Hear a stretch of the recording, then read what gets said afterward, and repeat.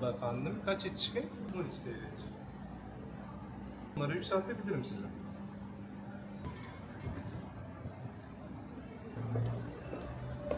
Merhaba, hoş geldiniz. Merhabalar.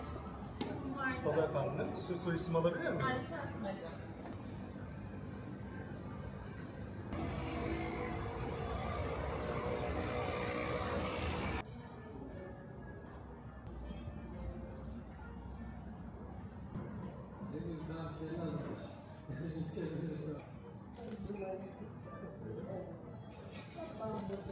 Hemen tabletimizi göndereyim.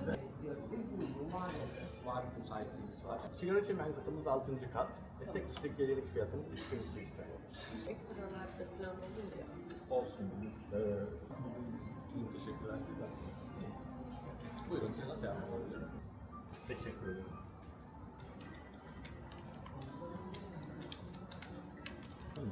0532 Evet. 321 Evet. 211. Teşekkür ederim.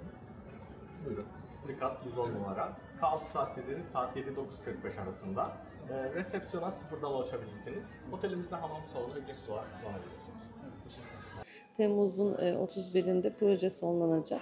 Kursiyerlerimizin %50'si hemen hemen işe yerleşmiş durumda. Almış oldukları eğitimin e, kaliteli olması neticesiyle de e, artık aranan personel olacaklarını düşünüyoruz. Bu eğitimin e, sonucunda da amacımız direkt işe yerleştirmekti bizim çabamız.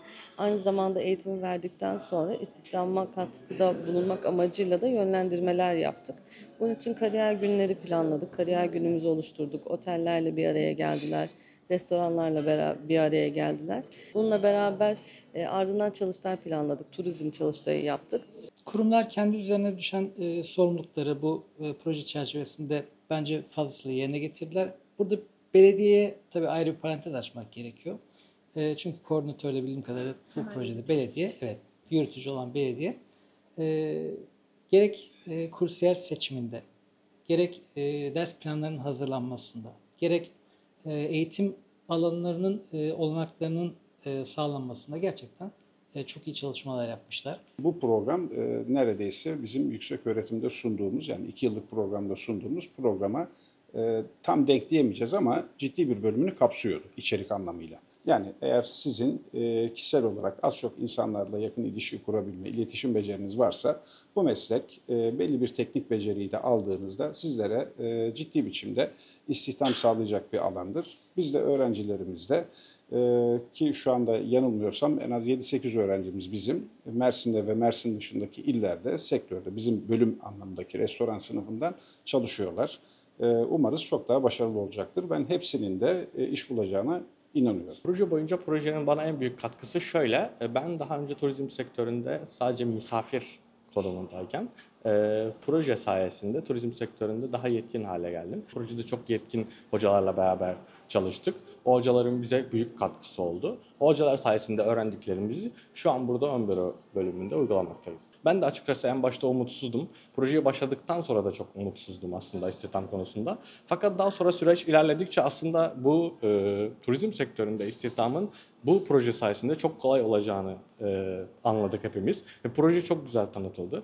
E, örneğin ben mesela yani e, hayatımın böyle umutsuz bir dönemindeyken, işsiz bir dönemindeyken bir anda Mersin Büyükşehir Belediyesi'nin bu projesiyle tanıştım.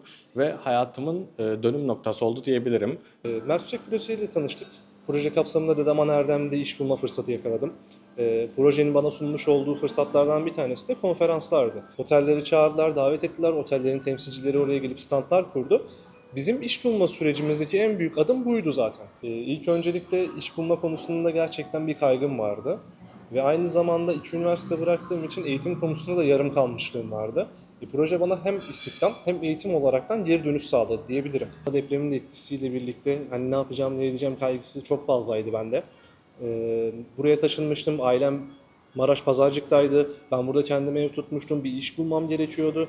E, ve o, o sürede Mertusek projesi karşıma çıktı. Mersin Belediyesi'nin bu desteğini kendimde çok fazla hissettim diyebilirim.